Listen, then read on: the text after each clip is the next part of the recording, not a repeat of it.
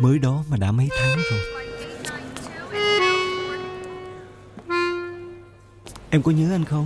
Ai thèm nhớ anh? Tóc em dài ra và đen nữa. Ừ. Em định có tóc ngắn nè. Siêu V bồ kết mới Với gấp 2 lượng bồ kết và vitamin tổng hợp nuôi dưỡng tóc. Tóc mọc dài hơn, ống mượt và đen nhánh tự nhiên. Em ghét anh.